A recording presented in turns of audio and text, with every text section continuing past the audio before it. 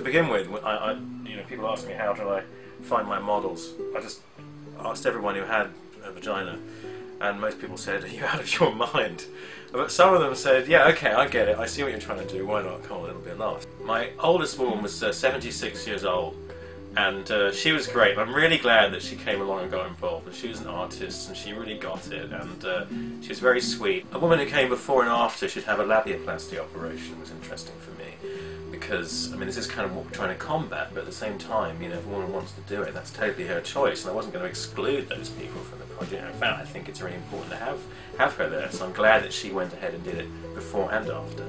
And my youngest were a pair of um, identical twins who came all the way from um, from up north to. Uh, to come and get cast, and they, they, were, they were a great life as, uh, laugh as well. You know, they were 18, so uh, um, I've had some you know, a lot of people make a lot of effort to come and get involved, and it's been it's been really great. It's been really interesting to see the comments. I thought that I would have to get really thick-skinned because uh, I'm not. You know, I'm, I'm, an artist. I'm emotional. This stuff matters to me. It's like you know, you you comment on my work. You're commenting on me.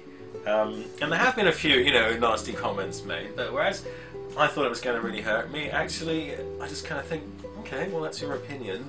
I'm just glad you're having the debate. You know, what matters to me is that people are talking about it. It doesn't really matter what they say. I really wanted to show the sculpture for the first time in the studio where it was created and to sort of let people of Brighton, you know, if you like, see it first because you know, I'd, say at least half of the women in the sculpture are from Brighton. So I thought it was a really nice place to do it. Do it in the Fringe, do it in, a, in an arts festival, let everybody have a look before it goes off and does, you know, major things elsewhere. So um, this is where the, the exhi exhibition is going to happen. Um, the sculpture's nine meters long, and I don't have a nine meter wall, so I'm going to strip out my entire uh, studio here and turn it into a gallery space. It'll stand here in the middle of the room, surrounded by 400 uh, vagina casts. It's really hard, you know, no, no, matter what term you want to say instead of the medical terms, uh, someone's going to complain, you know. Personally, I quite like Fanny. It's just, seem to have upset anybody.